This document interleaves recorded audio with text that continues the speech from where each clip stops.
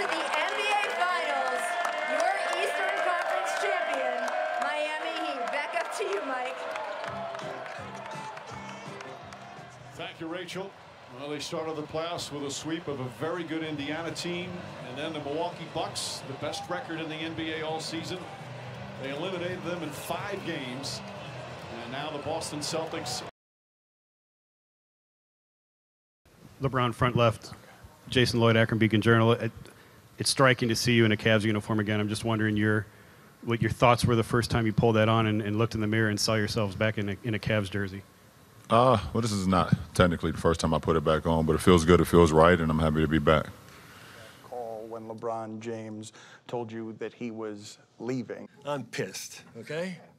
So go ahead, get it out there. You've described yourself publicly as devastated, and you've said that you will never forget that phone call where you just felt like, hey, weren't we building something together? You know, when LeBron made that call, I saw a dynasty fly out the window. I didn't blame him, but, but I knew that that was a 10-year team. It was just a sad day for, for me and for our franchise because I, I wanted that dynasty.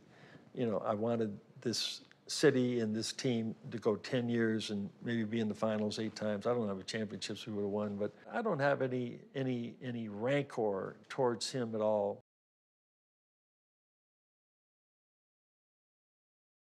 Introduce uh, the two newest members of the Miami Heat, Goran Dragic, Zoran Dragic, and uh, we're very excited about uh, this day. Um, this is something we've been working on uh, for a while.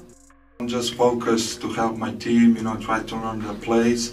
And like coach said, we still got 28 to 29 games left, and of course we want to make a playoff. So, you know, I first I need to, you know, I need to meet all the players and everything. But um, you know, in the future, I hope so that um, you know I'm gonna stay here. This is a great organization.